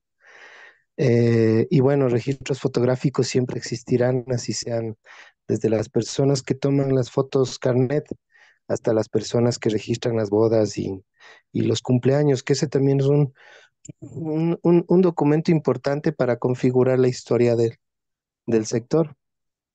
Eh, por lo general, la memoria, eh, como repositorio de este tipo de, de- de acontecimientos, se conforma a partir de ese tejido social en los, en los lugares eh, que, que todavía po- tenemos la posibilidad de, de compartir experiencias, porque en las grandes ciudades uno de los problemas que existe es que como es tan grande la mancha urbana, em, la posibilidad de conectarse, como en Quito, por ejemplo, o como grandes ciudades de- del mundo, de conectar esos espacios de, de- de- interacción social cruzan por el hecho de tener lugares donde puedan asistir las personas. En- en- en los poblados no es así, en los poblados hay otras lógicas y otras eh, movilidades, podríamos decirlo. Y, y me parece interesante también tomar en cuenta eso, es decir, eh, muchas de las veces nosotros no encontramos nuestras fotografías específicamente en nuestro sector, sino algunas de las veces encontramos los registros en, eh, en las casas de los hacendados, en las casas de los ingenieros que levantaron los estudios topográficos, en los, bueno, algunos restos de fotógrafos que habían cubierto la zona en, a través de los medios de comunicación y a veces, si es que hay algunas de las, de las, si es que hay alguna, algo de suerte, en las tesis que se levantan en las universidades.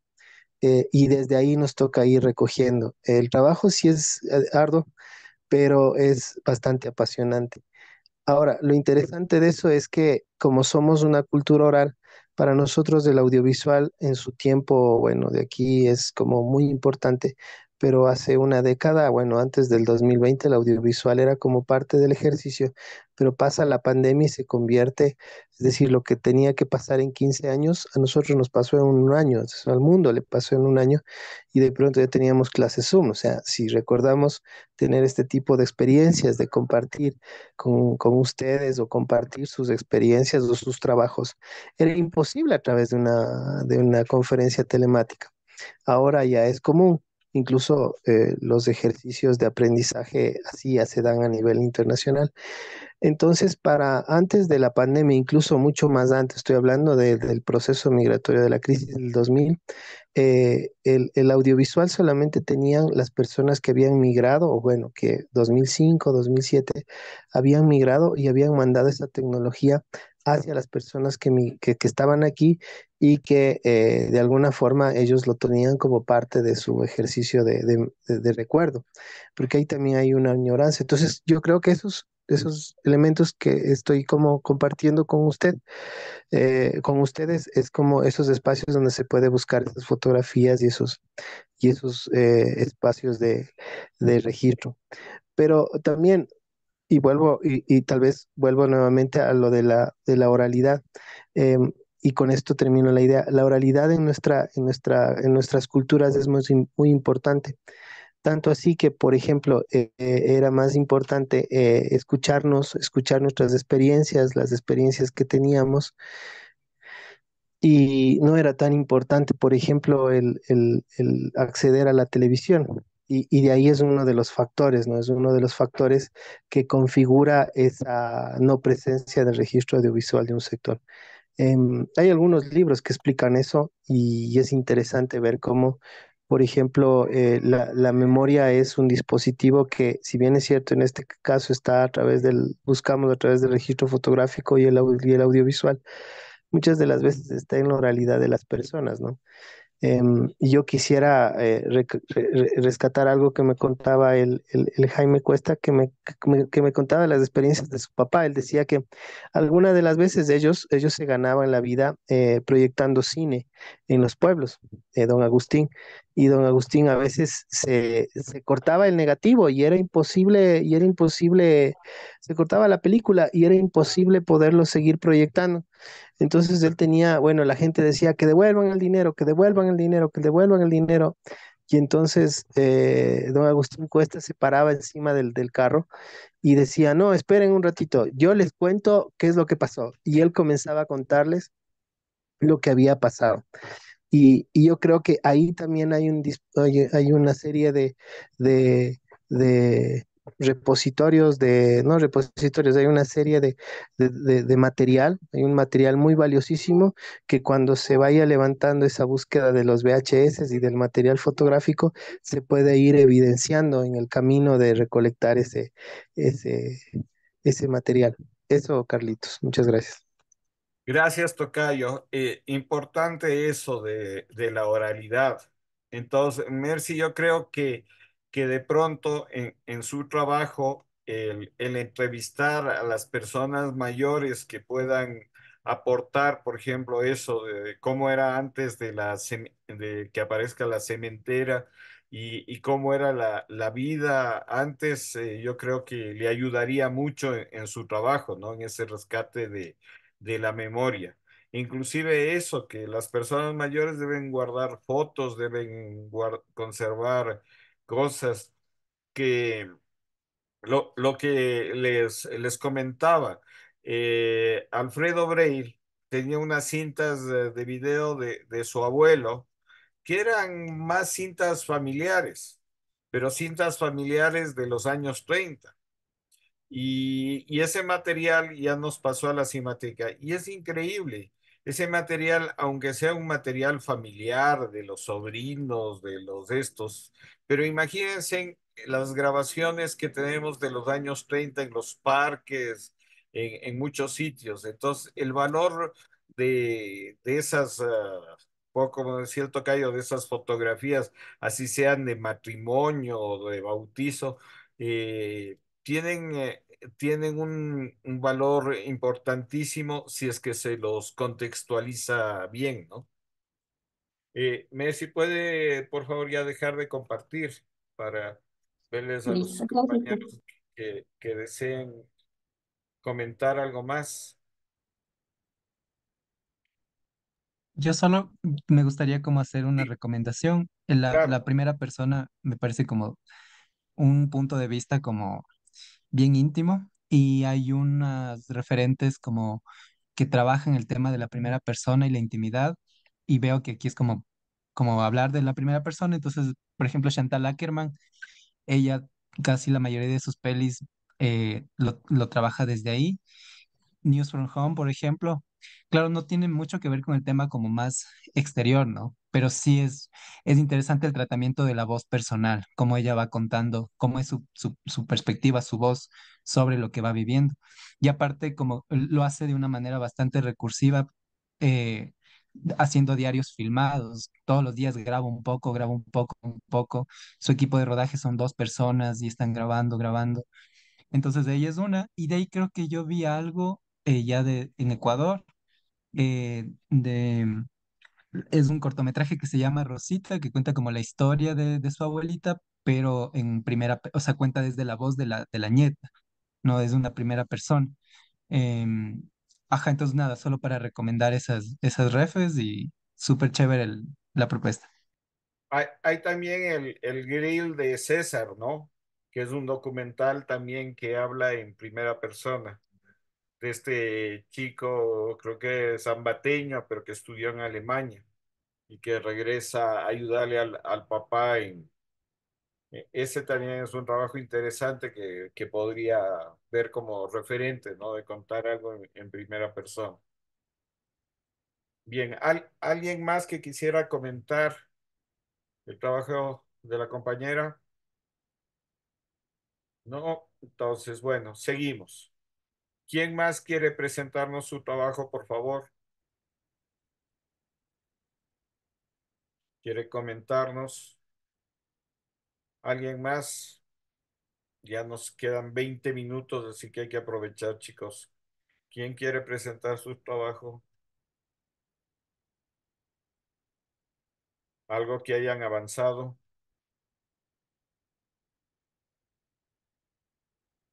Vamos con Loreto, por favor. Hola, buenas noches. Em, sí, em, tengo que presentar así o tan solo le voy hablando, no lo sé. Eh, como usted quiera, como usted quiera. Mm, ya, creo que solo voy a hablarle, porque dijo que mañana mm, ya ponemos eh, las sesiones individuales. Sí. Ya, entonces, a ver, em, yo sí terminé toda la tarea como tal. Em, entonces, por ejemplo, yo también le hice, porque sí vi el grill de César. Entonces, eh, yo le hice, mm, eh, bueno, para terminar rápido, eh, em, una historia, hice como mi historia, porque no sabía cómo más hacerlo de una manera como, o sea, no sabía otra historia que la mía, ¿no? Entonces, como que hice mi, como que mi historia en primera persona contando cosas pequeñas. Hice también este, un pequeño, no relato, pero puse entre escenas em, lo que desde donde más o menos empezó la política extractivista, el mío era sobre el neoliberalismo. Entonces fui poniendo desde, desde pequeños cortos de noticias de las sabatinas de Rafael Correa hasta la actualidad, hasta eh, poner ejemplos de lo que sucede en el ámbito socioambiental en la Merced de Buenos Aires. En que aquí, aquí le, le, tengo justamente su, su trabajo. Entonces vayan contando, sí, yo solo les comparto acá a los compañeros que vayan viendo. Sigan, ya, sigan, Roberto, por favor. Ya, entonces yo le puse hasta hasta la parte de la Merced de Buenos Aires y pues era verdad de que no necesitaba posiblemente videos de Daniel Novoa o de o, o de Lenín Moreno porque ya este ya le puse eh, esos gobiernos, o sea, las consecuencias de esos gobiernos ya dentro de las protestas sociales. Entonces, era verdad de que sí lo escribía y tenía que ordenar, entonces eso sí tenía mucha razón para saber qué era lo que necesitaba y, lo que no necesitaba. También este, lo que mm, vi es las escenas que toca grabar em, en territorio. Eh, son, me parece que las de territorio, las únicas que tengo que grabar porque, los, porque hay algunos documentos que sí tengo, como la de la asamblea que le comenté, que sí tendría que pedir permiso para poderla utilizar porque sí la necesito. Y también em, grabar lo que es las fiestas de la próxima semana, que es el día, yo voy a ir el día 11, 12, 13 y 14 y las fiestas son el 14. Entonces tendría que ir a grabar porque sí es necesario dentro de la, casi al final, para que tenga, disque yo, sentido, ¿no? Para que la historia principal y la historia secundaria, como es contar la historia del neoliberalismo, tenga sentido, de, de las políticas extractivistas. Entonces, mmm, eh, no sé si esté bien el guion, si está bien en primera persona o si se tenga que poner diferente, eso no sé. Este, mmm, igual no sé si es que la historia esté bien porque es una experiencia personal, ¿no? Es como yo lo viví. Eh, claro, más las escenas donde salen las noticias de Correa y las noticias de Novoa y las noticias de protestas sociales y pues y tal. Y, y pues eso. Bien, eh, eh, para hacer un, un resumen de, su historia, esta sí la leí, sí la tengo claro. Es la historia de una chica que, que quiere estudiar arte, pero típico que los padres le dicen que, que no, que con el arte no llega a ningún lado y decide estudiar leyes.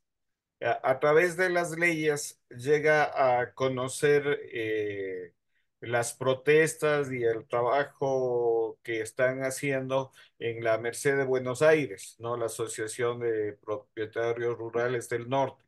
Entonces, el enfrentamiento que ellos tienen con toda la, la minería ilegal y también con la, la minería ya, digamos, oficial que, que está trabajando en, en esta comunidad, ¿no? Entonces, más o menos esa es eh, su historia. No, me, me parece que, que está bien, solo habría que ajustar eh, ciertas cosas, tanto eh, del, eh, del guion como de, de la parte de, de los referentes. Pero sí, no hay ningún problema que, que sea una historia en, en primera persona que quiera contarnos su historia y a través de esto justamente llegar a esta parte de del territorio, ¿no? Justamente en la Merced de Buenos Aires, en donde se está haciendo un trabajo de explotación minera y en donde la gente típico es, es marginada, ¿no? Entonces, sí, me, me parece bien eh, y su trabajo está más o menos completo de, de lo que lo leí.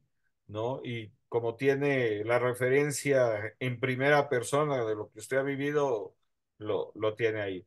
Eh, una pregunta tengo, ¿logró resolver el tema de quién le puede ayudar a filmar?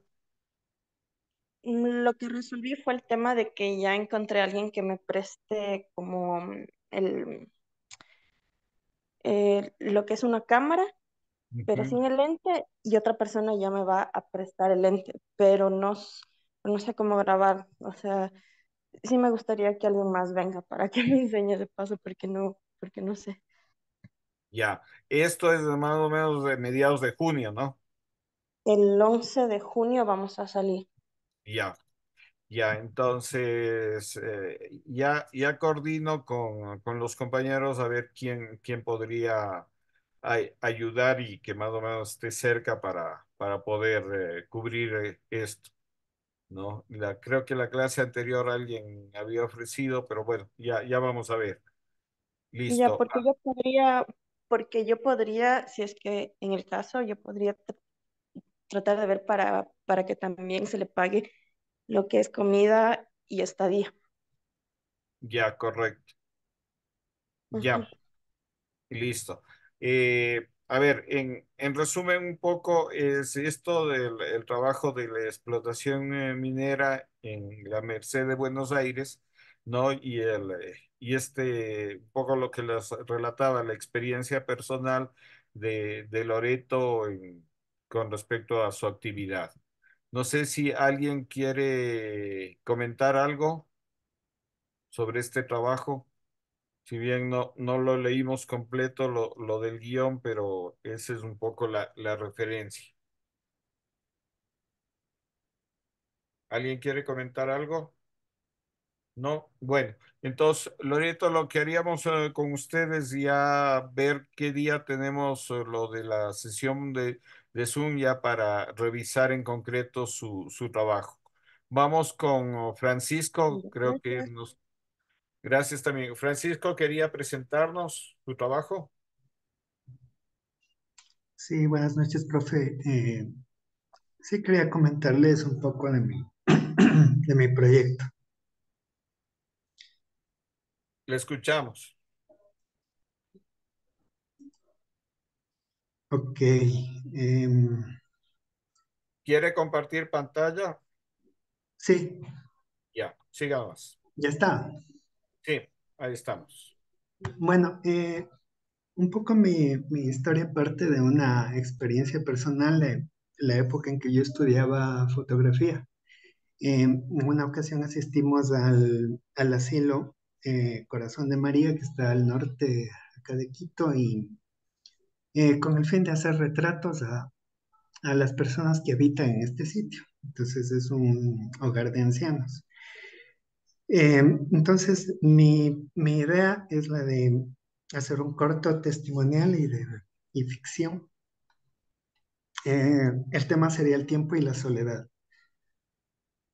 Un poco centrándolo de esta manera, o sea, lo que yo quiero es em, conocer la historia de una de estas personas y mm, un poco a lo largo de esta historia em, hacer algo de ficción acerca de lo que quiso ser tal vez, o sea, alguna parte, siempre tenemos nosotros nuestras frustraciones en algún momento. Quisimos hacer algo y no pudimos, quisimos lograr algo y no se pudo. Entonces, un poco en esa parte iría la, la, la ficción, o sea, el de conocer su historia, un poco en qué parte hubo una, algo que no se logró y tal vez por ahí plantear la idea de qué pasaría si se hubiera logrado, qué, cuál habría sido el rumbo de su vida y, digamos, qué consecuencias trajo esto, ¿ya? Y el final sería el de que a mí, mi, mi preocupación principal en este, en este aspecto, en este tema, es que cuando yo estuve ahí, vi el total abandono, o sea, en muchos de los casos, el total abandono en el que estas personas se encuentran eh, muchos de ellos entiendo que muy pocas veces son visitadas por sus familiares. Y mi idea es un poco rescatar este, esta, este, estos recuerdos, ¿no? Estos, estas, un poco algo conocer de, de una vida de estas y qué habría sido, y digamos al final, en dónde concluyó su vida, que es en su realidad actual.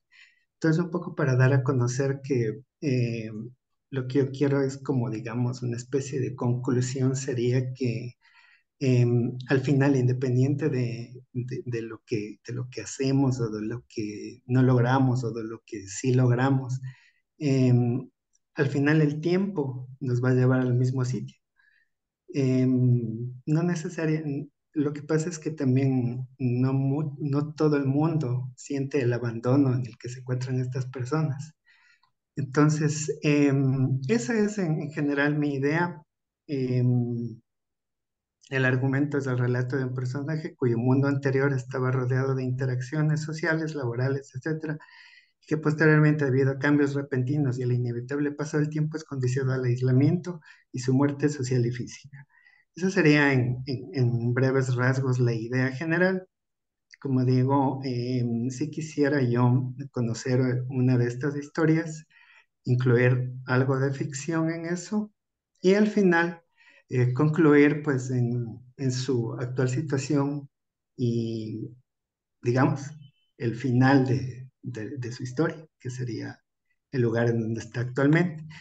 Em, lo que mm, yo tendría que hacer es acceder acá al, eh, al, hogar que les, que les comento y em, un poco eh, conocer, conversar ahí con las personas y tal vez ver, buscar el personaje adecuado para, para desarrollar mi, mi proyecto. Eh, básicamente es esa la, la idea. Em, em, yo hice la tarea eh, en base a lo que estuve revisando también un poco en internet porque no había hecho esta parte del storyline. Eh, entonces lo que puse fue que una persona asilada en el hogar de ancianos Corazón de María en Quito contará su realidad actual. ¿Qué habría sucedido si su destino era diferente? Los retos que debe enfrentar para llevar su vida adelante, los peligros a los que está expuesta y cómo ha cambiado su vida con el paso de los años hasta la actualidad y su visión acerca de la muerte. Em, el guion estaría, yo tendría que desarrollarlo escuchando luego de sus opiniones y conocer un poco qué les parece, tal vez para ir en ese, en ese sentido ya preparando el guion, el storyboard y em, ya comenzar el trabajo de grabación. Em, en cuanto a entrevistado, sería un habitante del hogar de ancianos, recursos fotográficos y, video, en concordancia con el storyboard. Eh, las tomas de apoyo, en esa parte haría una investigación de la Cinemateca Nacional para ubicar, eh, digamos, eh, como digo, la parte de ficción, tal vez en, el, tiempo en el cual se, se desenvolvía este personaje eh, en, su juventud, tal vez, o en su edad madura. Y eso, básicamente, mis fuentes son este, esta, este video que yo vi acá acerca de la soledad, el siglo de la soledad. Y un libro que a mí me gusta mucho, que yo leí, es eh, La montaña mágica, que también habla de una persona que está asilada en un, en un, en un sitio donde llega por dos semanas y se queda años. Eso es, profe, básicamente la historia. Ya, eh, sí, a ver, eh, hay, hay una película chilena que se llama El Agente Topo. No sé si la ha visto. No, no, la verdad. Le, le recomendaría que, que, le vea, que aborda un poco ese tema de, de la tercera edad y de los asilos o orfelinatos para personas mayores. Ahora, eh, me parece interesante su tema, pero también sí me hace falta un poco esa contextualización social, digamos, porque no es casual que en nuestras sociedades actuales eh, los niños y, y, los ancianos sean la población más vulnerable, ¿no? Antes, en, eh, digamos, en, en épocas anteriores, nosotros éramos una sociedad en donde el abuelo era parte de la familia el abuelo era el que se encargaba de los nietos, era una parte fundamental de, de, la familia, abuelas y abuelos, ¿no? Pero en los últimos años han proliferado todos los ancianatos, todos estos sitios, que es un poco a la familia también ya no hacerse cargo de los viejos y dejarlos ahí, pero esto no es solo una, una cuestión familiar de que la familia decide, sino que como sociedad, eh, y es parte del neoliberalismo, eh, la gente es valiosa mientras es productiva. Entonces, por eso es que los niños y los ancianos son despreciados en, en esta, en, en, esta forma de, de organización social, ¿no? Y entonces solo la gente que produce es gente importante, el resto es un poco desechable, ¿no? Entonces sí me hace falta un poco esa contextualización, ¿no?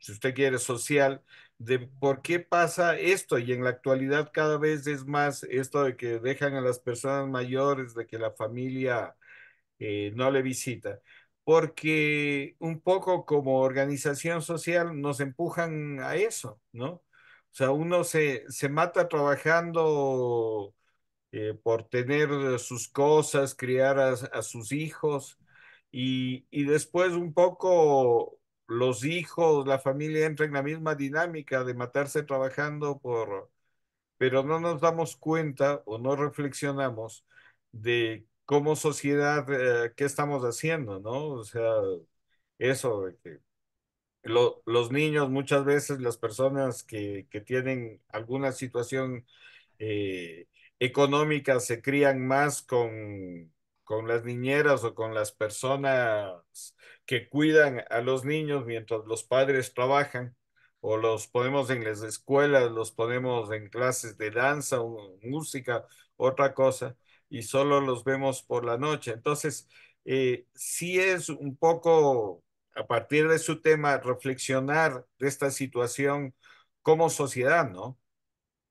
Entonces, eh, me parece chévere ese tema y, y un poco ese es eh, mi, mi, opinión de que podría trabajar. Y le recomiendo esta película, El Agente Topo, es una película documental chilena bien interesante.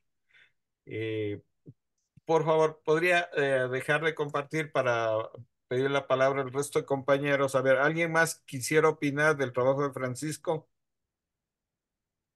¿Algún un dato interesante, soy, soy Carlos, soy Carlos, eh, maestro. Eh, un dato interesante es que justamente todo lo que, lo que su merced ha dicho es, es relevante porque algo que afecta a las personas adultos mayores es justamente dejar de ser funcionales para la sociedad. Y claro, el espacio donde se les ubica es como el espacio que entre comillas es el adecuado para su condición. Y justamente hay una sensibilidad que, por cierto, más allá de lo económico o lo, o lo, o lo social, se transforma en una sensibilidad que no ha sido eh, eh, vista, que ha sido visibilizada.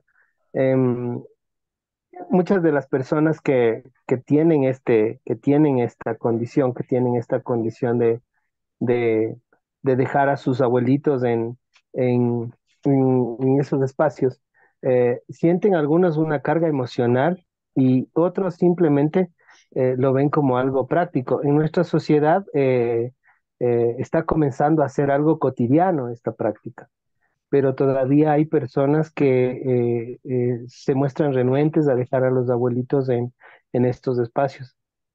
Entonces yo creo que esa también es una dimensión interesante, que a propósito de, de, la validez que tiene el testimonio de, de, de, de quien es efectivamente la persona de la tercera edad, también está sus familiares y yo creo que ahí hay un conflicto bien interesante en esa en ese en ese baremagnum que se puede a, que se puede visibilizar cuando él se siente abandonado y la familia se siente que lo abandona o viceversa. Porque en los contextos ecuatorianos por lo general eh, los familiares mm, cotidianamente se hacen cargo de eh, las personas adultos mayores. Eso maestro. Gracias, Tocayo.